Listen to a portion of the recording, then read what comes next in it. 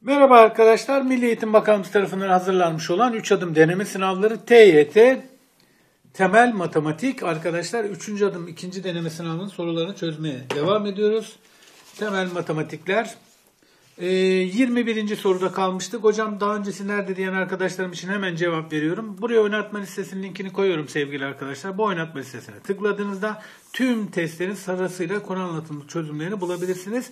Sadece 3 adım ikinci deneme değil tüm denemelerin arkadaşlar 15 adet denemenin tamamını sırasıyla veriyorum. Onluk gruplar halinde çözüyorum. Fizik soruları da dahil arkadaşlar.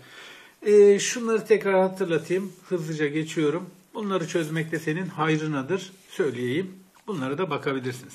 Evet sevgili arkadaşlar Milli Eğitim Bakanlığı yetkililerine çok teşekkür ediyoruz emekleri için. Ben de size soruları çözerken konu anlatımlı yardımcı olmaya çalışacağım. Evet 21 diyor ki aşağıdaki görselde başlangıç noktası A ve bitiş noktası F olan bir yol üzerinde bazı noktalar işaretlenmiştir. Bu noktaların yerleri ile ilgili aşağıdakiler bilinmektedir. Löp löp löp löp löp. E, güzel. Buna göre DE yolunun uzunluğu tüm yolun uzunluğunun yüzde kaçına eşittir? DE'yi bulacağız. Şu verilere göre işleyeceğiz arkadaşlar. Diyor ki AB yolun yolun uzunluğu tüm yolun uzunluğunun yüzde 15'ine eşit. E, o zaman sevgili arkadaşlar biz bunun tamamına bir 100x diyelim. Ya da 100 bile diyebiliriz ya. Sen kafan karışma 100 olsun. Yüzde 15'i AB yoluydu arkadaşlar. Burası ne kadar olur? 15. İstiyorsan kilometrede. Yüzde bulacağız ya yüze göre. Dediğim gibi x'i yanına koyabilirsin, koymaya da bilirsin. Şu arkadaşın kafasını karıştırıyor. Ben yüzde gittim. 100 kilometre olsun, 15 kilometre abi. Çünkü bana yüzde soruyor ya. Yüzde sorduğu için çok da önemli değil. İstiyorsan sen binde, 200'de, istiyorsan 50'de ama orada yüzdeyi bulman zor olur. Evet devam ediyorum. C noktası AF yolunun orta noktasıdır. Arkadaşlar C noktası AF yolunun tam ortasıysa demek ki burası ne kadarmış? 50'ymiş %50. Bak %25'i bur şey 15'i burasıysa şurası kaç olur arkadaşlar? 35 olur. Şu kısım 35 olur. Güzel. %35 olur ya da öyle diyebilirsin. Burası da 50. Bak buraya da 50 kaldı. Ee, 50 kalan yer neresi? CD, DE, EF. D noktası CE yolun orta noktası. O nefissimo. Hmm. DE, DC, D noktası. Şuralar, buralara önce bir AA diyelim isterseniz. Orta noktası madem. Tamam mı arkadaşlar? Şuralarda AA oldu. EF yolu BC yolunun uzunluğunun uzunlukları birbirine eşittir. EF ve BC. BC ha tamam bitti ya. Arkadaşlar BC'yi 35 demiştik. Evet. E, burası da 35 ise bak zaten 50 idi. Burası 50 kalmıştı. 50 kaldıysa buraya kaç kalır arkadaşlar? 35 çıkar. CE CA arası 15 olur. E bu arkadaşlar da birbirine eşitti. Bana da DE'yi sormuştu. E DE bunun yarısı kaç olur? 7,5 olur. Ne kadar kolay çıktı değil mi arkadaşlar? Tereyağından kıl çekercesine. Sadece direktifleri, verileri kullandım, yürüdüm, gittim. Hadi 22 ile devam edelim. 22 numara geliyor arkadaşlar. 22 numara uçtu geldi sahnedeki yerini aldı. Diyor ki bir matbaada 3 ciltli ajandalar ve 4 ciltli defterler basılmaktadır. 3 ciltli ajanda hop 4 ciltli defterler. E güzel. Matbaacının basacağı tüm ajanda ve defterlerin sayısı kullanacağı cilt sayısının %30'u kadardır. Ha, tamam. Arkadaşlar tüm ajanda ve defterlerin sayısı şunlara diyelim ajanda diyelim. Şunlara da defter diyelim. Bu ajanda ile defterlerin sayısı arkadaşlar kullanıcı cilt sayısının cilt sayılarının %30'u. Bak cilt sayısı burada ne oluyor hemen çıkıyor karşımıza. 3A kadar cilt var. Burada da arkadaşlar 4 çarpı D kadar cilt var değil mi? Hı. Şu arkadaşın A ile D'nin toplamı hatta öyle yazalım. A ile D'nin toplamı 3 artı 4D'nin arkadaşlar %30'u nedir? Şu kadarıdır. Tamam mı? Tamam. Bu basım işleminde kullanılan tüm ciltlerin sayısı 400 olduğuna göre, o çıktı bile burası 400'müş madem. Olduğuna göre matbaacının hazırladığı ajanda sayısı defter sayısından kaç fazladır? Sevgili arkadaşlar hemen elimizdeydi. Bak şunu söylüyorum. 3A artı 4D'nin 400 olduğunu biliyorum. A artı D de arkadaşlar burası çıktı ortaya madem 400 çarpı %30. İki tane sıfırla vedalaştım. A artı D kaçmış arkadaşlar? 120'ymiş. İki bilinmeyenli iki denklem. A artı D eşittir 120. İki bilinmeyenli iki denklemi oluşturuverdim. Bana neyi soruyor? Hazırladığı ajanda sayısı. A eksi D soruluyor. Acaba buradan hızlıca A eksi D'yi bulabilir miyim? Yok bulamam. Tek tek bulacağım. Dur bakayım ya bulabiliyor muyum? Belki bulurumdur. E, 2 ile çarpsam yok olmuyor. Arkadaşlar şu arkadaşı 4 ile şu arkadaşı 3 ile çarpayım. Eksi 3 ile çarpıyorum aşağıya. 3A 4D 400. Alt tarafı eksi 3A eksi 3D eşittir. Eksi 360 eksiyle çarptım. Şimdi taraf tarafa topluyorum. A'larla vedalaştım. D eşittir 40 oldu.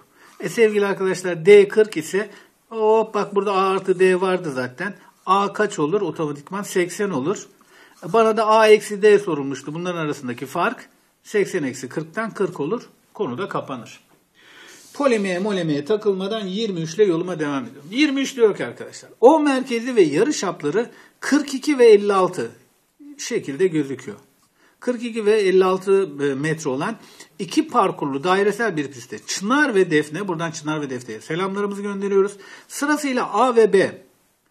Çınar ve Defne. Tamam güzel. A ve B harfiyle başlayan isimler olsa daha güzel olurmuştu. C başlıyor. Çınar 3 tam turu. 3 tam turu tamamladığında Defne bir tam ve bir yarım. Defne de arkadaşlar bir buçuktur. Değil mi? Bir tam ve bir yarım dediğine göre bir buçuk. Hatta sen buna 3 bölü 2 tur bile diyebilirsin. Bir tur yarım tur tamamlayabiliyor. Hareketleri süresince hızları sabit. Hep sabit arkadaşlar. Ve Çınar'ın hızı 30 metre bölü saniyedir. Oo çıktı ortaya. 30 metre bölü ha, dakikaymış. Güzel. Buna göre defterin hızı kaç dakika metredir? E sevgili arkadaşlar düzgün yol hareketlerde x eşittir vt'yi ben biliyorum değil mi? Alınan yol sürat çarpı zamandı arkadaşlar. E ben burada Çınar'ın her şeyi belli. Çınar'ın geçirdiği vakti bulup e, Defne'de tatbik edeceğim. X ne kadar arkadaşlar? Şu arkadaş 3 tam tur atıyor. Bak çevre neydi? E, çevre 2 pi r idi değil mi? Bir çemberde. O zaman arkadaşlar bu arkadaşın çevresi ne olur? 2 çarpı pi çarpı 42 ama 3 tur atıyor. 3 tur eşittir. Aldığı yol bu. Arkadaşlar hızı 30. Zamanı bulacağım. 30'u buraya bölme olarak gönderiyorum. T'yi bulacağım derdim o. E, T eşittir arkadaşlar. 30 3'e böldüm. 10 2'ye böldüm 5. 42 pi bölü 5. Arkadaşlar geçen vakit bu kadarmış. Aynı şeyi defne için yapacağım arkadaşlar. Yine x eşittir v çarpı t diyeceğim. x bu sefer 1,5 tur olacak arkadaşlar. Yani 3 bölü 2. 2 pi r'yi yine yazıyorum. 2 pi r'si 56 çarpı 3 bölü 2 tur. Doğru mudur? Doğrudur. İşte bu eşittir. Bu aldığı yol. Hızı benim aradığım şey bu zaten arkadaşlar. E geçen sürede şuydu. 42 pi bölü 5. E sevgili arkadaşlar öncelikle şunları bir sadeleştireyim. Bak ben bu durumlarda şöyle yapıyorum. V'yi yalnız bırakacağım ya. 5'i buraya bölme, çarpma olarak gönderiyorum. Çünkü burada bölmeydi. Pi'yi buraya bölme olarak gönderiyorum. Zaten sadeleşecek görüyorsun. 42'yi de buraya bölme olarak gönderdim. V eşittir budur arkadaşlar. Pi'lerle vedalaşıver. Aa, kolay sadeleşen 7'ye bölüyorum. 6 7'ye bölüyorum. 8 3'e bölüyorum 2, 3'e bölüyorum 1, 2'ye bölüyorum 4. 4 ile 5 yan yana kaldı ve eşittir 20 metre bölü dakika. Geçmiş olsun. Anlaştık. Hepsi bu kadar arkadaşlar. 4 işlem biliyor musun? İşlem yaparken hata yapıyor musun sorusu olmuş. 24 numara. Aysel, şey Aysel nereden? Asel ve Buse. Buradan iki ilgisine de selamlarımızı gönderiyoruz. Gayet güzel, şık isimler. Aşağıdaki görselde verilen mavi ve turuncu, mavi ve turuncu yolları izleyerek yürümeye başlıyorlar. Asela, Asel, Buse bak burada daha mantıklı olmuş. A harfi, B harfi. B, B noktasından aynı zamanda yola çıkıyor ve C noktasında karşılaşıyorlar. Güzel. Ha demek ki hızları şey. Ha, şey olarak tabii ki e, oranlı olarak karşılaşıyorlar. Bu noktada hiç durmadan yürümeye devam edip D noktasında yine karşılaşıyorlar. Ne kadar güzel karşılaşıyor. Karşılaşıp aynı yolda yürümeye başladıktan bir süre sonra bak aynı yolda yürüyorlar ama beraber yürümüyorlar. Neden şimdi anlayacağız. Asel E noktasına vardığında bak Asel E noktasına vardığında Buse F noktasına varıyor. Ha, kim daha hızlı? Buse demek ki arkadaşlar oluşuyor. Güzel. Ulaşmış oluyor. Şimdi can alıcı bilgilere geldik. Burada hikaye anlatıldı. Bize şimdi soruyu çözelim diye bilgiler verilecek arkadaşlar. 2 tane DE, 3 tane EF. Yani EF'ye 2K dersem DE benim için 3K olur. Oran orantını biliyorum. DE gel buraya 2K. Sevgili EF 2K. Sevgili arkadaşlar hemen söyle. Asel'in aldığı yol 3K. Sevgili Buse'nin aldığı yol 5K aynı anda. Aynı zamanda. Aynı anda değil aynı zamanda. AC ne kadar güzel 420 metre olarak verilmiş bana. Ne kadar güzel. Ve CTD yolunun uzunluğu 330. CTD. O burası da verilmiş. 330 metre. Olduğuna göre BCKD yolun uzunluğu kaç metredir? E sevgili arkadaşlar burada aslında ya hemen yapabiliriz ya. BCKD. Hemen şunlarla şunları oranlayabilirim ama şöyle ben sana bir göstereyim ya. Sevgili arkadaşlar x eşittir vt değil mi? Evet. Bak sevgili arkadaşım. Ee, alınan yol sevgili arkadaşlar şurada geçirdikleri zaman aynı olduğuna göre değil mi? Bak A'dan C'ye B'den C'ye aynı zaman geçiyor aynı. Alınan yollarla hop e, hızlar orantılı. Peki hızlar arasında oranı nasıl yapacağım? E, sevgili arkadaşlar bak x eşittir vt olduğuna göre yine bak 3K'ya 5K'lık yollar alındıysa 3K 5K zamanlar aynıysa hızlar arasında da şöyle bir oran vardır. Asel'in 3V'dir hızı. Sevgili e, Buse'nin de arkadaşlar 5V'dir. Öyle değil mi? O hızdadır. Yani mesela işte e, x eşittir vt v çarpı t v çarpı t evet bir sürede 5v ee, çarparsam bak 5k ediyor 3 ile de çarparsam 3k ediyor t'ler eşit. Yani yolla hız doğru orantılı. Güzel. E sevgili arkadaşlar ben aynı şeyi şuralar için de tatbik edebilirim. Kim daha hızlı? Sevgili Buse. Arkadaşlar şu arkadaş 420. 3V ile 420 metre yol alınabiliyorsa 5V ile ne kadar yol alınabilir? Buyur sana oran orantı. Löp löp 420 çarpı 5 bölü 3. V'ler gitti zaten. Şu arkadaşı böldüm. 140 kaç oldu? 700 metre.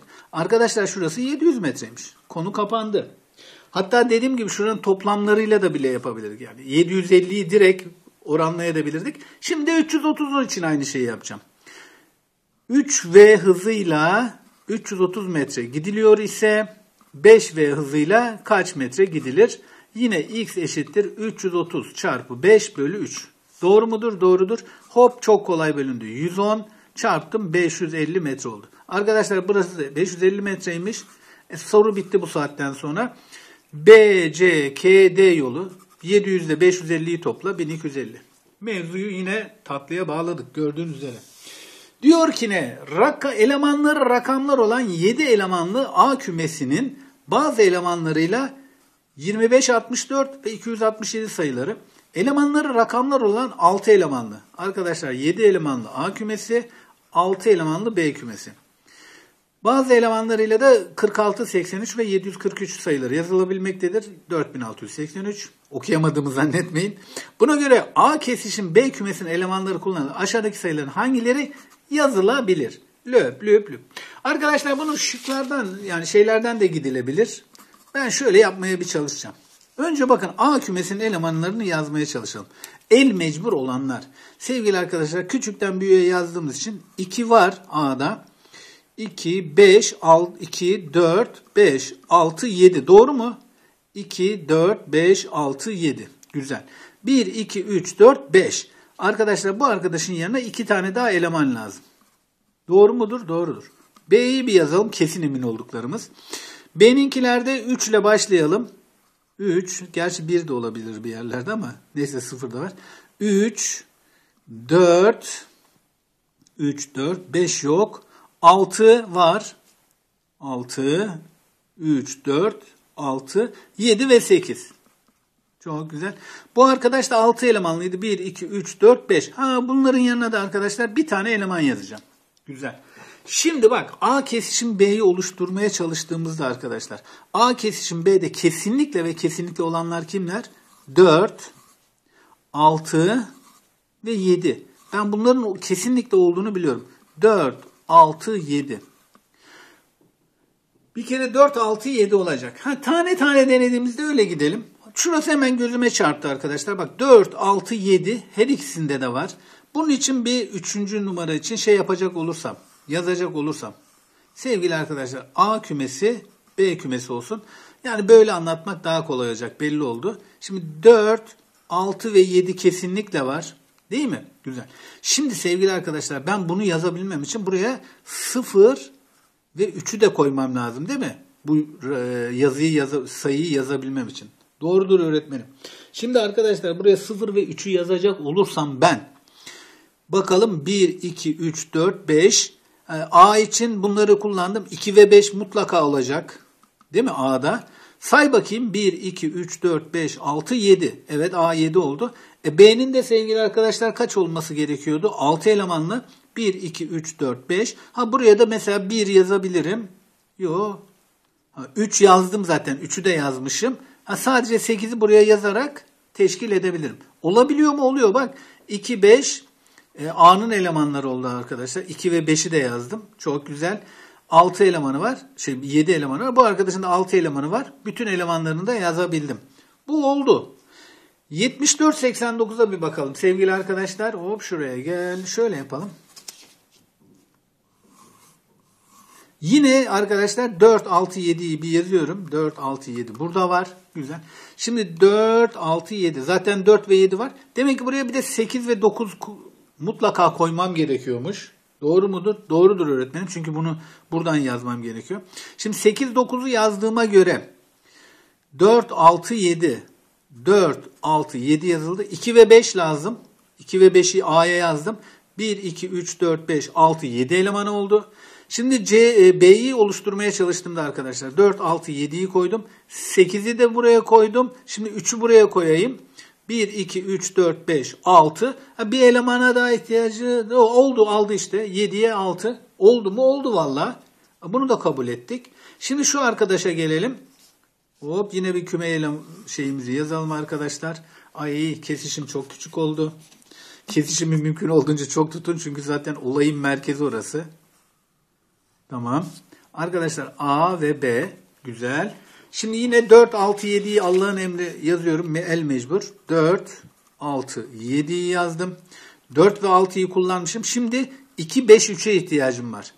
2, 5, 3. Doğru mudur? Doğrudur. Şimdi 2, 5, 3'ü yazarsam arkadaşlar bak 2'yi de yazdım, 5'i de yazdım. Zaten olması gereken bütün A'ları yazmışım. 1, 2, 3, 4, 5, 6.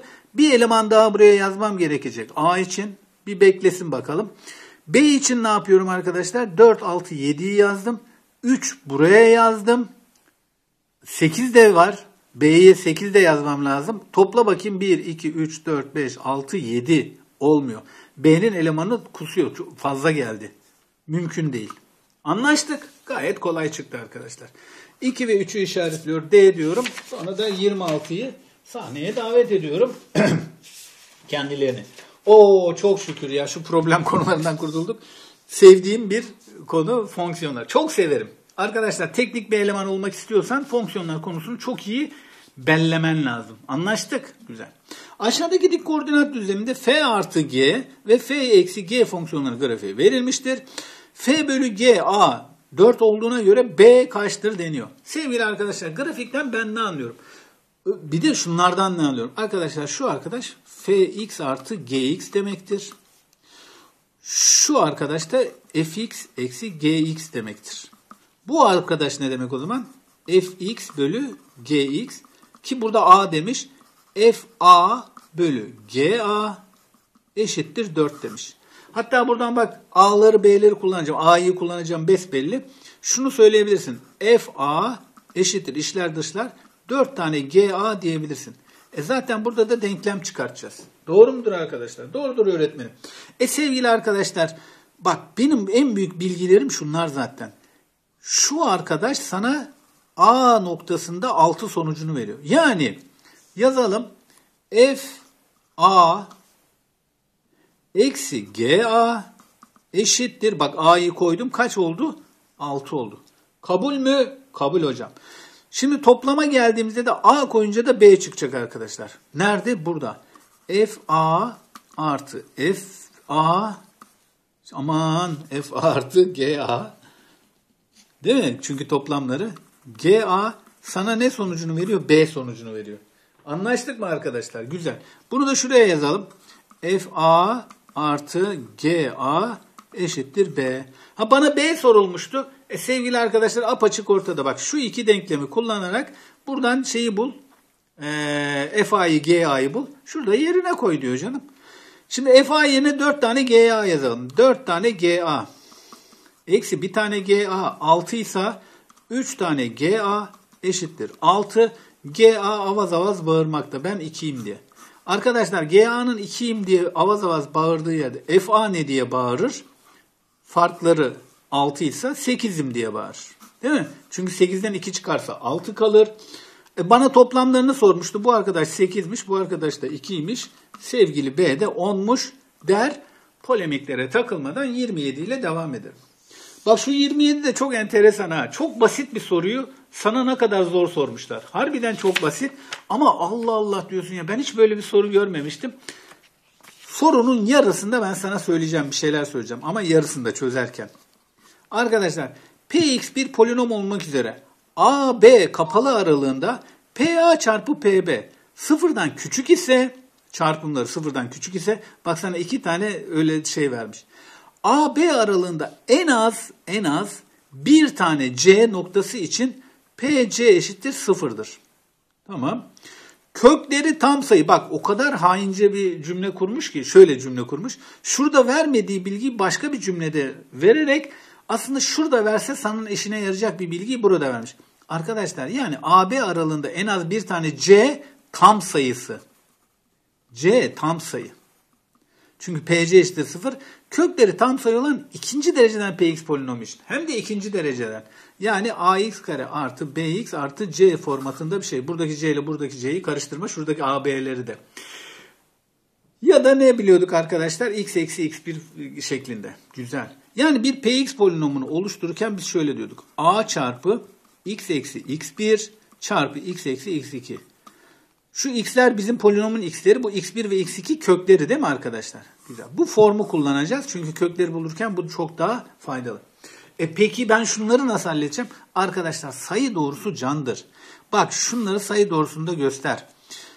Ee, sıfırdan küçük eşitsizliğini veriyorsa arkadaşlar. 3 bölü 2 neresi? Şurası. 3 bölü 2. Şurası 0 noktası olsun. Bu da 11 bölü 4. Sevgili arkadaşlar 3 bölü 2 dediğin şey nedir? 1 tam 1 bölü 2'dir değil mi? Ya hocam ne yapıyorsun? Bizi e, o kabus dolu yıllarımıza geri gönderme. Ortaokul yıllarına. Ya da 1,5 değil mi ya? Yani ondalıkla yazacak olursan böl buna 1,5. Ben böyle daha göstereyim. Hem artistik olsun hem de e, ortaokul 7. sınıfını bir iade et. Arkadaşlar bu kim? 2 tam, 2 kere tam var. 3 bölü 4. Doğru mudur? Doğrudur. Yani 2,75 bu da. Anlaştık değil mi bu konuda? Güzel. E sevgili arkadaşlar şimdi bak bu ikisinin arasında diyor bu ikisinin arasında bir tane tam sayı bu arkadaşın kökü. Arkadaşlar 1 bölü 1,5'la 2 küsur arasında kim var tam sayı olarak? Tabii ki 2 var. Bak bir kökünü buldun. Bu x1'lerden biri 2'ymiş. a çarpı x eksi 2 çarpı şimdi ikinci adayı bulacağız. O da şuradan çıkacak. Hop kafanı karıştırmaya çalışıyor. Bak dikkat et. Hangisi büyük hangisi küçük onu iyi çıkar. Arkadaşlar 10 bölü 3 mü 2 bölü 9 mu daha büyük sayıdır? Tabii ki eksi 10 bölü 3. Hocam nereden çıkardın? Şimdi söyleyeceğim. Arkadaşlar bak bu arkadaş eksi 4 tam 1 bölü 2'dir. Ya da böleceksen eksi 4 buçuktur. Bu arkadaş da arkadaşlar eksi 3 tam 1 bölü 3'tür. Yani eksi 3,3 devrediyor. Doğru mu? Doğru. E sevgili arkadaşlar bu iki arkadaşın arasındaki tam sayı kaç? Bazılarınızdan eksi 3 dediğinizi duydum. En büyük yanılgı eksi 4. Değil mi? Bak buraya doğru gidiyorum. Eksi 3 sonra önce eksi 4'ü vuracağım sonra buraya geleceğim. Arkadaşlar diğer arkadaş da eksi 4'müş. O zaman ne yazacağım? x artı 4 yazacağım. Sıfıra eşitliyorum ya güzel. Arkadaşlar px polinomumuzun iskeleti çıktı. Şimdi o ortada söyleyeceğim şeyi söyleyeyim ben sana. Sevgili arkadaşlar normalde sana şu soruyu şöyle soruyorlardı. P2 eşittir 0, P eksi 4 eşittir 0 olmak üzere bu da bu olmak üzere P3 kaçtır diye soruluyor idi. Bak ne yaptın bu soruda? Şuradan ekmeğini taştan çıkardın.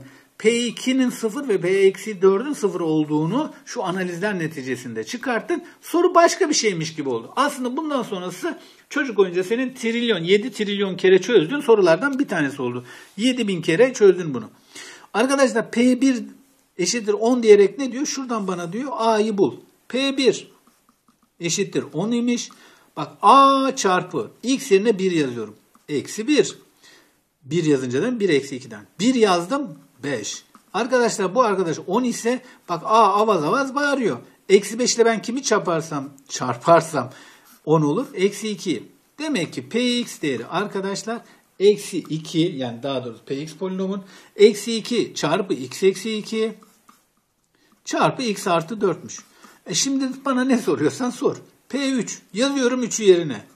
P3 eşittir. Bütün x'ler wing wing wing wing wing wing diye yanıyor.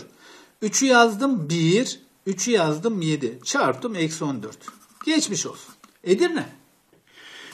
Gelsin 28 numara. 28 numarada şöyle sesleniyor. Yiğit ve Erdem'in de çok güzel selam söylüyoruz kendilerine.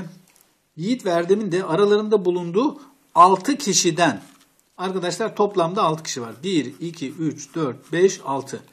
Oluşan bir grup arkadaş koşu yarışması yapıyor. E güzel, hayırlı olsun. Biz de çok yapardık. Hala da yaparım yani. Buna göre Yiğit ve Erdem'in ilk üçte olduğu birinci, ikinci, üçüncü, dördüncü, beşinci, altıncı olsun. İlk üçte yalnız. Şurada yer alacaklar. Kim bunlar? Yiğit ve Erdem. Olduğu ve Yiğit'in Erdem'in önünde yarışmayı bitirdiği kaç farklı durum vardır?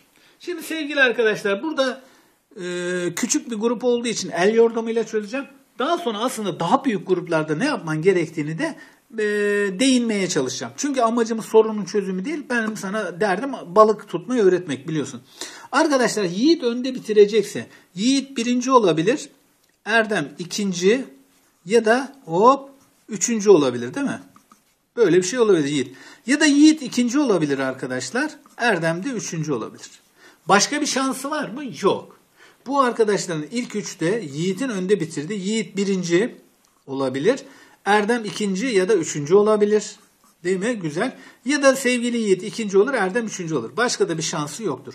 Sevgili arkadaşlar şöyle de söyleyebiliriz genel olarak. Mesela ilk 25'te deseydi arkadaşlar burada bak 3 taneden 2 tane seçiyorsun. 3'ün ikilisi kadar seçimin var. Şu Y ile E'yi yerleştirdin.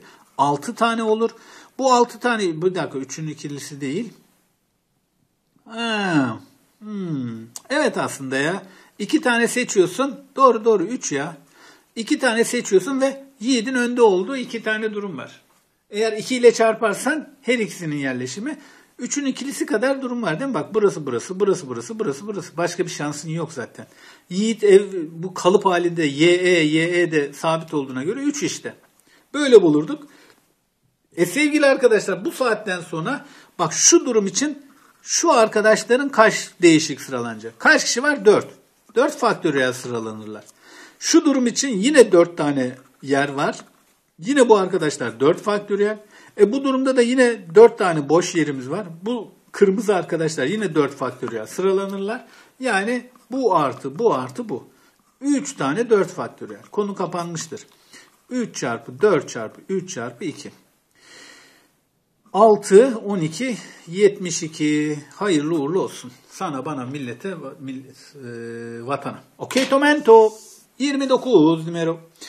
Bir basketbolcunun attığı serbest atışlarda başarılı olma yüzdesi aşağılarda aşağılarda aşağıda verilmiştir.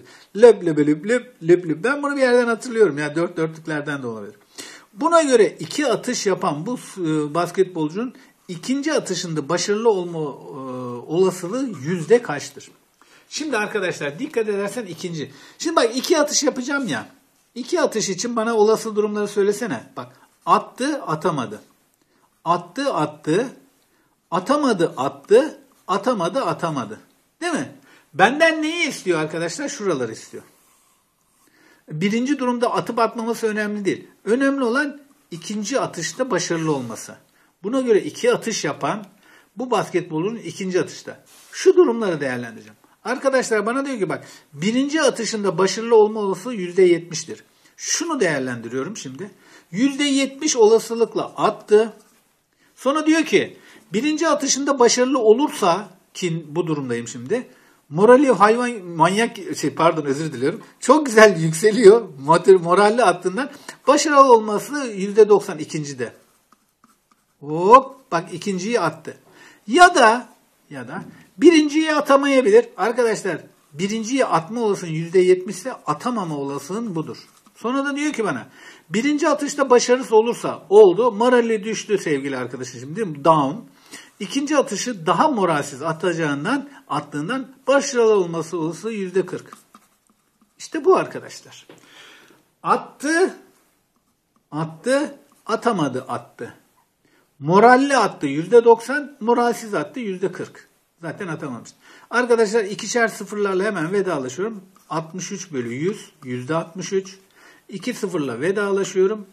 12 bölü 100 yani yüzde 12. Bak birinciyi atamayınca ikinci de vay be enteresan. Topla yüzde 75.